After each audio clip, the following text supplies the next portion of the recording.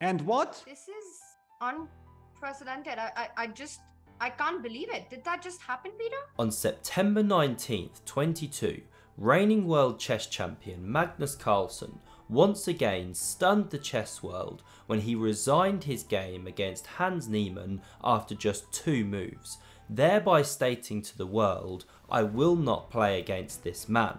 Why? Because Carlsen is convinced that Niemann is a prolific cheater, both online and over the board, and most importantly of all, he is convinced that Niemann cheated to beat him in the prestigious Sinquefield Cup, a tournament which Carlsen subsequently withdrew from. And so, when offered the chance to start the process of moving on from the drama, Carlsen refused. And not only did he double down on his position through his shocking resignation, he also sought to strengthen it in an interview given soon after his first since the scandal broke. I'm uh, very impressed by uh, Niemann's uh, play. I think uh, his mentor Maxime Dlugy must be doing uh, a great uh, a great job. So who was Maxime Dlugy, and why would Carlsen name drop him of all people?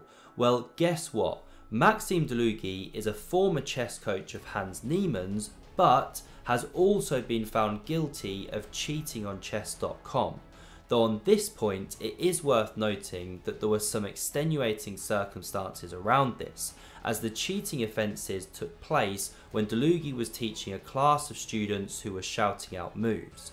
But once again, the insinuation from Carlsen was clear. I am your father.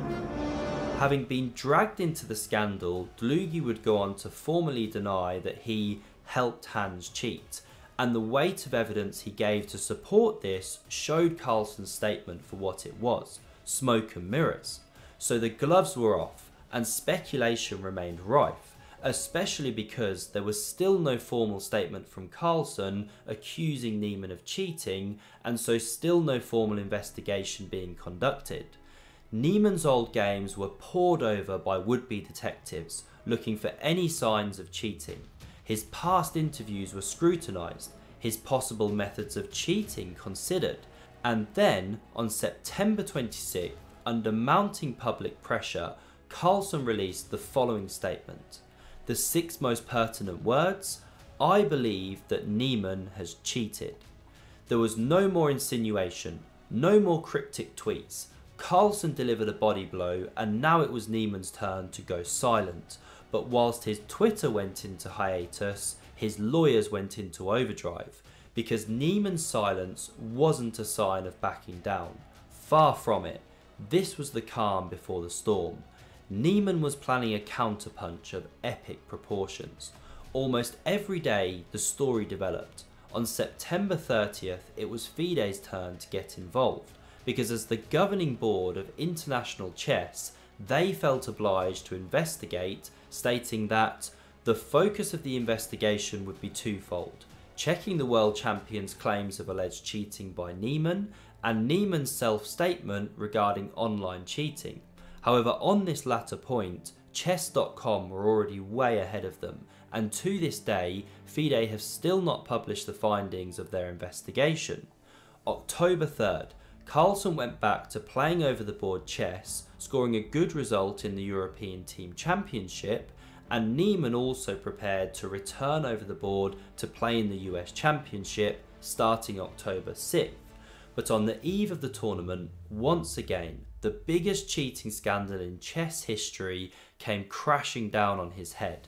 It was the Wall Street Journal who first broke the story on behalf of chess.com leading with this shocking headline. Chess.com published their full report shortly after a whopping 72 page report titled The Hans Niemann Report. At the heart of it, Niemann had lied.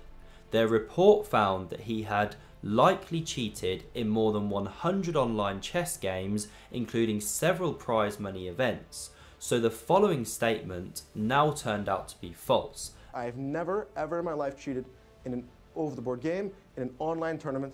They were unrated games. And I'm admitting this, and, and, and, I'm saying my truth because I do not want any misrepresentation. A very bad look for a man whose reputation was already shot to pieces.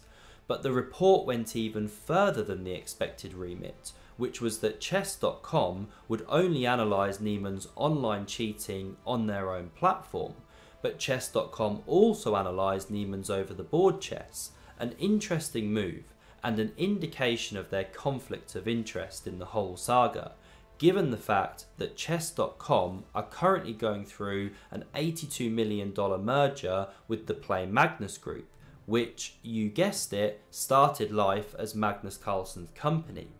Chess.com analysed Niemann's rise to the elite level, his performance in the Sinquefield Cup after Carlsen withdrew, even going so far as to include analysis of Niemann's reaction to beating Magnus Carlsen. The conclusion? Well, whilst they didn't hold back on presenting all of the circumstantial evidence available that supported cheating, in their own words, none of it indicated cheating over the board.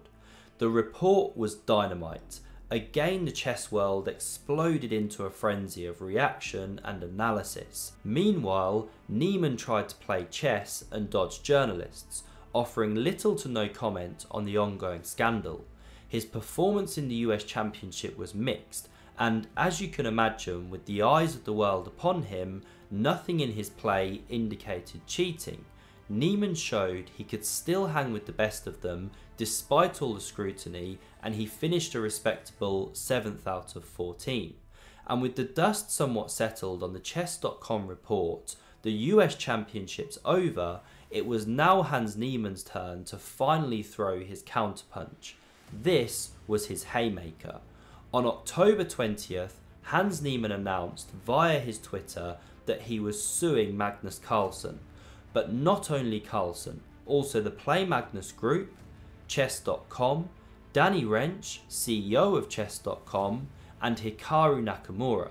What was he suing for? Well, a lot. Slander, libel, unlawful group boycott under the Sherman Act, tortious interference with contract and business expectancies, and civil conspiracy.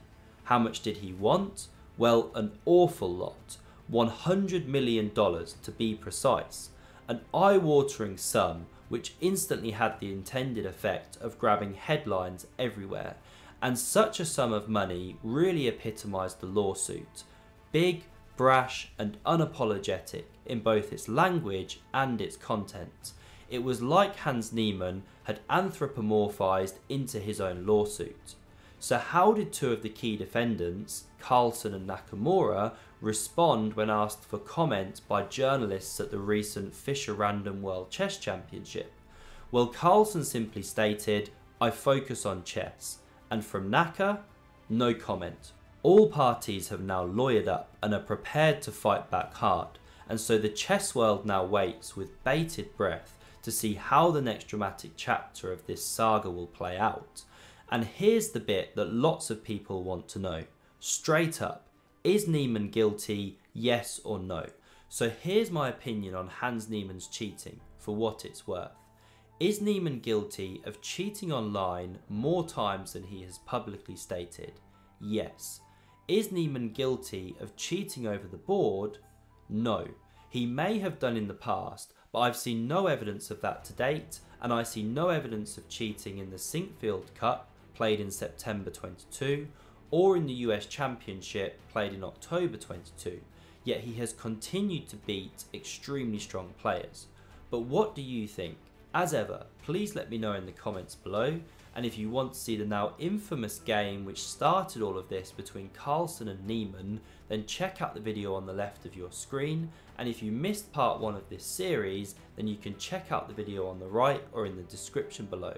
Thanks very much for watching and I hope to see you again on a future video.